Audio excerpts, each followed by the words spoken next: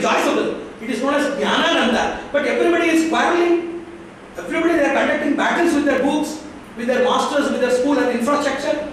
It is because of uh, lack of proper management skills for intellect. So that is possible only for yoga. So by yoga we can have self-counseling, counseling others and distant counseling at all. So whatever that we are seeing, the UN high-level threat panel it has given 10 major alerts or alarms to the world, amongst which five things are like uh, inter-civil wars, then uh, mass atrocities, then border clashes and conflicts, war, then internal communal harmony, disharmony, various other things. So five of that uh, high-level threat panel's uh, suggestion is to do with mismanagement of human mind.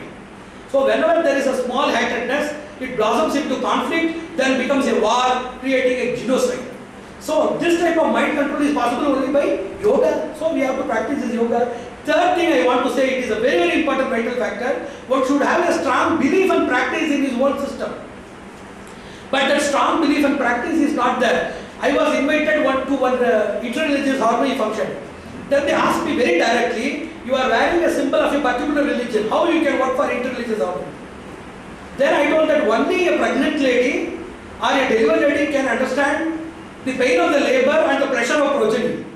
Only a person having a strong power or a substantial will in a structured religion, he can understand the root of a religion and root of his brotherhood religions and the reasons to be united, everything only a person who is systematized can understand that. So a person who is just like a medley, medley means a person who is in different numbers of religions, he cannot work. A skeptic who does not believe any religion, he cannot be a good ambassador. And a peripheral who knows just the apparent status of all religions, he cannot work. Only a person who has known a religion can understand the pain of religious disharmony and pressure of united religions initiative. So we have to follow that. Now we are confused by three things. One is anonymity, second is equanimity, third thing is synonymity. That is, uh, it is known as a pseudo compromise. Now everybody is saying all religions are equal.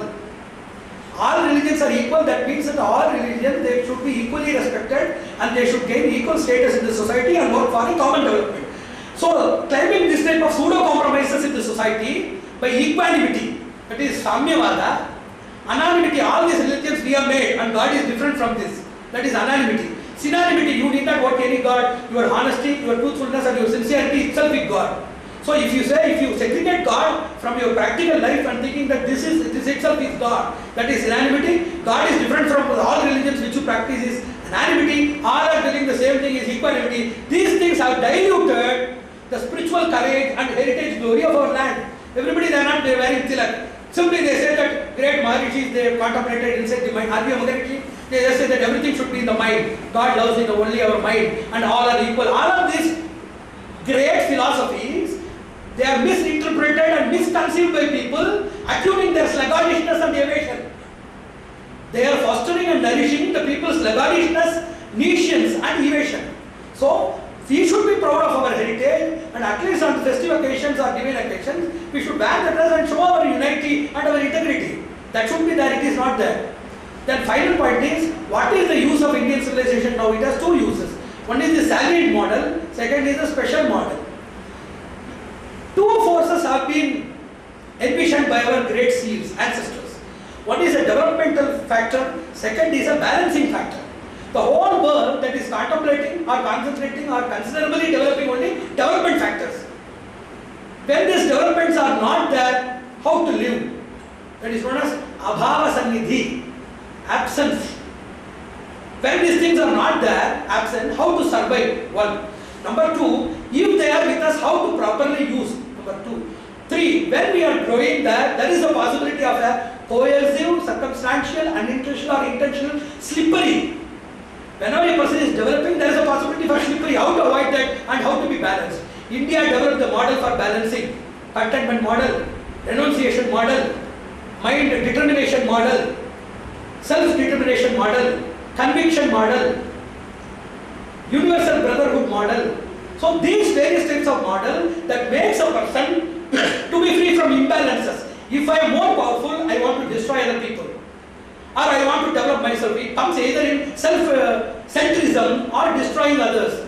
Or ill-treating others. Because of lack of proper balancing of his mental equilibrium. So, our Vedic tradition, they were the first, even before the development, they have initiated us with balancing. That's what I told in Delhi seminar also. For us, Dharma is the breastfeed of our mother and all the artha and kama, they are the hand feed. Whereas the Westerners, they are otherwise are reciprocated. So we were born with balancing knowledge. Then only we started understanding about development so that we are very clear, so that we are very balanced, so that we are well protected and we can show the way for others also. It is known as a balancing. That balancing is starting only from our land. So how to develop these balancing systems that requires a workshop which we will discuss later. And coming to the final point, number one, what we have to do now, how to start this thing now from this day, anyhow we want to start from this day. We have to start something connected with, as we know that we cannot complete these things in one hour or two hours of session, there should be one academic environment where we can teach people. That should be an exclusive school model whereby whatever we are having now is just imitation. That's what I told in one seminar that India should first become uh, must be brought back to Indian style. Somebody asked me what to do with Indian knowledge for best. I told that first India should be brought back to Indian style. Then we can bring the Indian style to everybody. Because India is not an Indian style. In the pretext of Indianship or in the pretext of Indian development, everything is Western. What are the things are adoption and imitation of the West. Some scientists told that India has produced a lot of scientists. I am not telling about the rishis or the great people. There are four types of intelligences. One is innovative, second is creative, third thing is imitative, fourth thing is operative.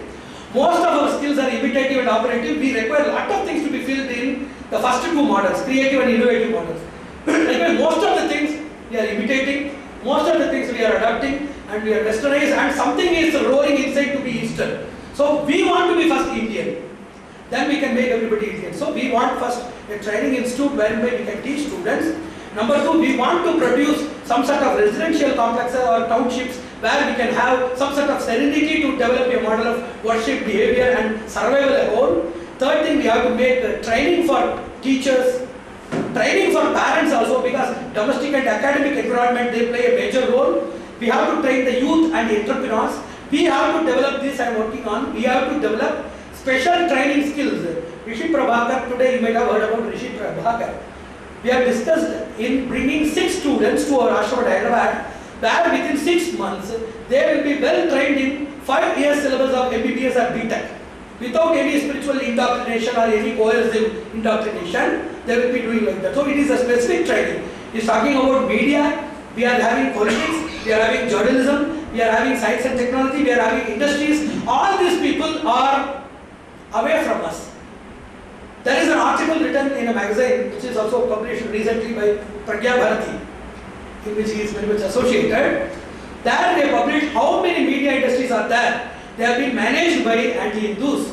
They are purchased by anti-Hindus. Most of the journalism institutes are produced by people, those who are in uh, those who are in anti-Hinduism, those who are having skepticism and rationalism, the so-called atheism. Only the atheistic people, the communist people, or the anti-Hindu people, they are owning the media industry, either directly or indirectly. They are having international network and international worldwide fund structure by which they can manipulate, they can manage, they can purchase, and they can man any person and any number of things. Unless we have our representatives, specially trained people, they must be journalists. We need five components in the society, in the political society, in the knowledgeable scientific community, in the media industry, in the judiciary industry, amongst the youth representative. Unless we develop these five people, it may take 10 or 20 years, two or three decades, even let it take. What is the problem? It is a corrosion of various centuries. Why can't it be renovated in one or two decades? We can wait for that. And NSR, I think that he will also be extended to live and see and experience those things. So this is the practical way by which we have to bring these things. So I told in one seminar of history that history must be taught not as a story. History must be taught in such a way, such a turbulent and torrential way that it penetrates into the veins of the person to make him to remember of his own glory, wherein by it creates a zeal which is a driving force for awakening his conscience and consciousness to actively work, productively, committedly work for the reinstallation of the heritage. So that is the history. Teaching history